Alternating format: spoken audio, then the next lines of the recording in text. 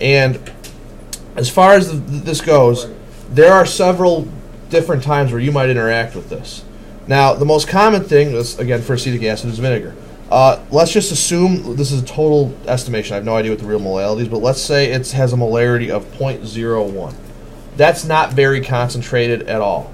What that means is that you know you can put it on your salad, do whatever you do with vinegar. Some people drink it, whatever. You use it to make canned stuff, whatever. Clean with pickles. I mean, yeah, you, it, you can do a lot of stuff with it. It's not dangerous in any way. However, at the same time, let's say we had something that had a concentration of, we'll say, like 14 molarity. So, exact same chemical formula, no difference whatsoever. You just have this, it's put into some water. It's just differing amounts of water, how dilute it is. Mm-hmm. Now, this stuff, 14 molar, is incredibly concentrated. It is something that you would not, I mean, you would not ever have any interaction with this outside of a chemical lab. Because this is the kind of thing where it would burn your hands immediately. It would cause you severe don't want to die. physical pain. Okay, but how does it have a different mol- molarity? Now, here's the difference. This is the exact same chemical formula. All the difference is, is that, like, so let's say I had, you know, like this much. I had a little, little bit of this, this acetic acid. What I'm doing, I'm putting it into water. Now, the amount of it that I, the amount of water that I put it into, like, think about, you know, hot chocolate. So you've got hot chocolate. If you put one scoop of hot chocolate into a glass of milk or water or whatever, it's concentrated. You know, it has some flavor to it, right? Let's say you put two scoops in, though, it's going to be a lot f- more flavorful, right? Yeah. Let's say you put three scoops in, it's going to be like maybe too much even. You see what I mean? It's all about how much of the solute you put into the solvent. The more solute, the more concentrated. So that's the point. Now the formula is this. As I was saying, this is probably the most important formula you're going to learn this year, maybe actually. It's also the easiest. It's moles specifically of solute over liters of solution. Solute over solution. Liter stands for solution. No, liter stands for it's the volume of solution in liters. Yeah. Yeah. Now, a few other things. So, capital M is concentration in molarity. Now, it's specifically a capital M because there's there's lowercase m, which uh, is something called molality. It's totally different. And just as a just so you know, we'll talk about this in a few days. But if you ever see something in brackets, that specifically indica- indicates concentration in molarity as well. Just so you know. Now, to give you uh, an example here, just to, just to explain sort of what molarity is. Let's say we have 7.4 molar HNO3, that's nitric acid. Now, what this is telling us, this is saying that for every 7.4 moles of HNO3, you have one liter of H2O. This is sort of the expanded form of, of that. Because remember, molarity is moles over liters. And it's like a fusion, like how we were working on a fusion before, mm-hmm. where it was whatever you calculate over one. It's the same thing here. How'd you get H2O? Well, because w- anytime we di- we're going to assume that anytime we dissolve something, our solvent is water. In this class, it's always water. It's always gonna be H2O. Yes.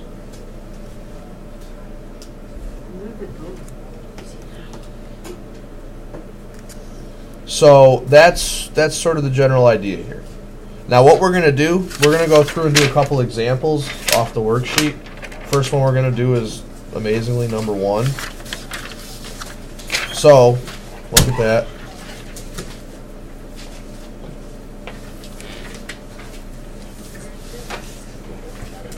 Now, uh, the way this will work, we're going to do a couple examples. And, you know, yeah. So, seawater contains roughly 28 grams of NaCl per liter. What is the molarity of sodium chloride in seawater? This is a pretty simple problem. Like, you're going to be thankful and happy that most of these problems are as simple and as straightforward as they seem. So, for example, uh, let's do this one. So, we've got 28 grams NaCl. it tells us that this is per liter. So how many liters can we assume for every 28 grams? One liter. So one liter H2O. Now it says specifically what is molarity. We know that molarity is equal to moles over liters. So yes, what we need to do, we know we have one liter of water, so we can put that on the bottom. The only thing we have to do is convert our grams to liters, or pardon me, our grams to moles.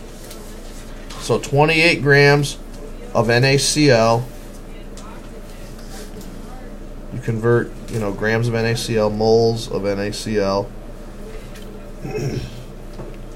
How do you know that there's one liter of each two? Because it said. because it per said liter. it said per- you know 28 grams per liter.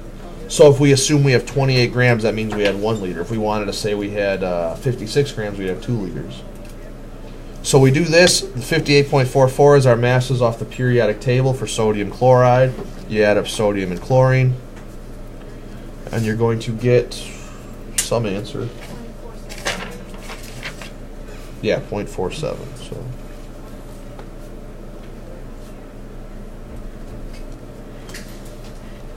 So you get 0.479 moles. Now, actually, we'll, we will rewrite this. We'll go 0.48 moles NaCl. Now, uh, the last thing that you're going to do, I mean, it's pretty straightforward. All it wants you to do is what is the molarity. So this is really easy. You just do moles over liters. And since this is since this is one liter, I mean it's that's it. So moles over one liter, that's equal to molarity.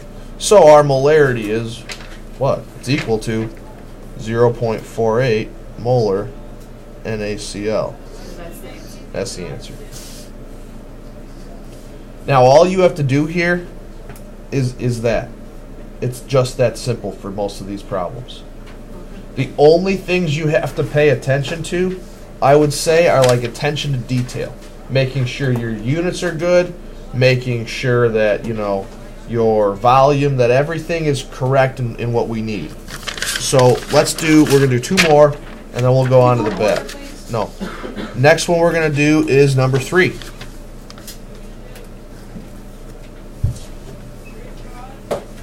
She's still there? Oh, okay. When you collect this, is it all taken the same? Just do just do the examples in the order I'm doing. So next, uh, let's say we've got what is the molarity of 5.3 grams? So 5.3 grams. No, you're you're staying out there still. So CO. I need two. So we've got 5.3 grams of Na2CO3 and 400 milliliters of water. Now this wants to know again what is molarity. All you need to do, very simply, very straightforwardly, is just figure out, you know, what are the moles, what are the liters, do the math. So our formula, moles over liters, Wait, don't you have to convert milliliters and uh, centimeters? Yes. So what we're going to do, we're going to do two conversions here. We're- just divide by thousand. Yeah, we're going to convert grams to, to moles, and we're going to convert milliliters to liters. So you got you just got to do two things. And again, it's it's not like these are hard. As long as you just you know pay attention to detail, you will have no problem at all.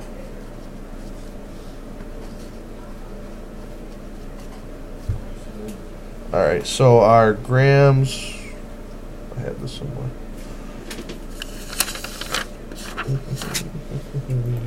Oh yeah. So it's one mole to 105.99. That's from adding up two sodiums, one carbon, three oxygens. You add them up, that's what you get. So your moles of, you know, so your answer is equal to 0.05 moles of Na2CO3. Now, as a quick reminder, if you're not like totally sure on the metric conversions, you might want to like you know brush up on those just for like a second because you're going to be using them a lot here. So when we want to convert from milliliters to liters, you know, use your conversion factor of 1 liter over a 1000 milliliters. Do we have to do all that? Can we just divide it? all I want to see on your paper is the division. Is, is, is the is the stuff plugged in? Like you do not have to show me you doing a metric conversion. Wait, hold No, up. Where'd you get a thousand from? one liter is equal to a thousand milliliters. Remember that? For every one liter, there's a thousand. Like at one gram has or one kilogram has a thousand grams. Got you. Okay. So that's going to be equal to 0.4 liters. So now all you do, if you just do moles over liters, it's 0.05 moles over 0.4 liters. So you get an answer. It, I think it comes out to be 0.125.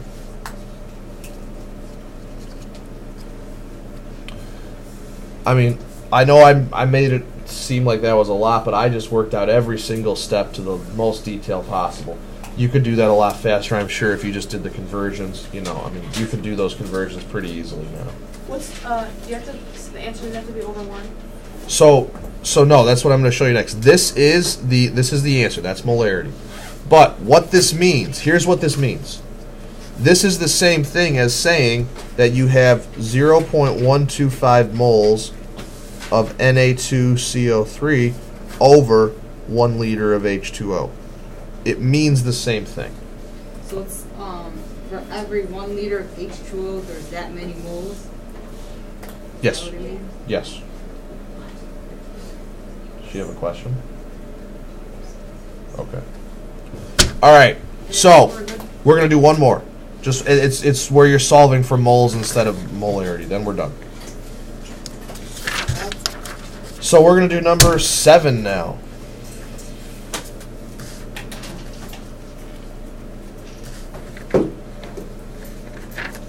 Hmm. Number seven. So, how many moles of NaCl? Sorry, there, there's number seven. How many moles of NaCl are contained in 100 milliliters of a 0.2 molar solution? So, you have 100 milliliters, and it also gives you molarity of 0.2. So, and, and this is NaCl. So, all you're doing here, you have, you know, what are we solving for in this example now? You're solving for moles. It's, it's very straightforward again. The only thing you have to do, convert 100 milliliters to liters. I'm just going to move the decimal point over three times now to save us some time. So, all you do is plug your stuff in and solve. The only thing that you might want to see here moles over 0.1 liters. Here's the only thing you might want to see. What I'm going to do is instead of writing 0.2 molarity here, I'm going to write it as 0.2 moles over liters. Because molarity is equal to that, and it will allow our units to cancel out. So, what I mean by that is, Wait, what what did you say? so, you know, molarity is equal to moles over liters. Okay. So instead of writing it 0.2 mole molarity, I just wrote it 0.2 moles over liters. The reason being is that now, when we solve the problem, Oh, they can. yeah, so that they're going to cancel out now. So you have 0.1 liters. Your liters cancel, and you're left with just moles. So your mole value ends up being 0.02 moles of NaCl.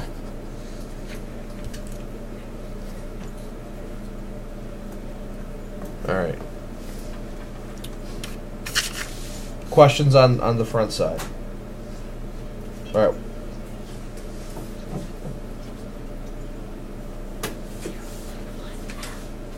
We're gonna we're gonna do one other problem. It's on the back. That's it. So flip it over. We're just gonna do one more.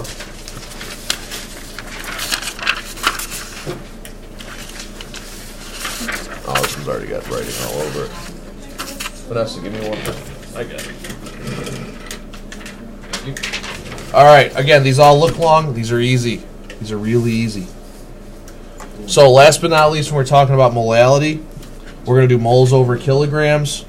And what you want to do here, first thing, the only thing that you need to know kilograms, it's, write this down, it's moles of solute over kilograms of the solvent.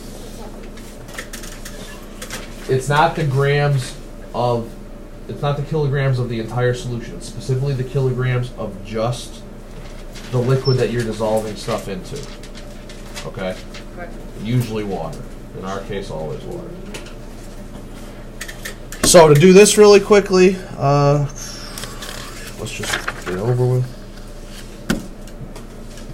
So this wants how many grams of KCl? You've got 255 grams of H2O, and then you've got 0.445. Now, the difference here, this is not molarity, this is molality. It's a lowercase m. There's actually a difference. So, how do you do this? Well, what I like to do, I'm going to say KCl is our solute. I know that because that's being dissolved into our uh, solvent. So we're going to solve for moles of the solute, and then we're going to convert moles to grams. And that's it. First thing we need to do, convert grams of H2O to kilograms of H2O. Same thing as the milliliters to liters conversion, so it'll be 0.255 kilograms of H2O. Quest- from grams to. Yeah, so we went grams to kilograms. Any questions there? All right. Next, we're just going to plug our stuff in and we're going to solve it. Now, pay attention to what I'm going to do here so you don't get confused. Um, this molarity or this molality here, we're going to rewrite it as moles over kilograms because then when we set it equal again, it'll cancel out. So you'll have uh, moles over 0.255 kilograms. Anybody confused where that, that came from? Yeah. Yeah. Which part? One, two. Oh, never mind. Seriously, which part? Yeah. What happened to the four four nine? What do you mean? Like, why did I rewrite it like that? Because molality, little m is equal to moles over kilograms. So all I did was substitute in this instead of writing m. Because what it allows us to do is when you when you solve the problem, it cancels out the, the uh, kilograms.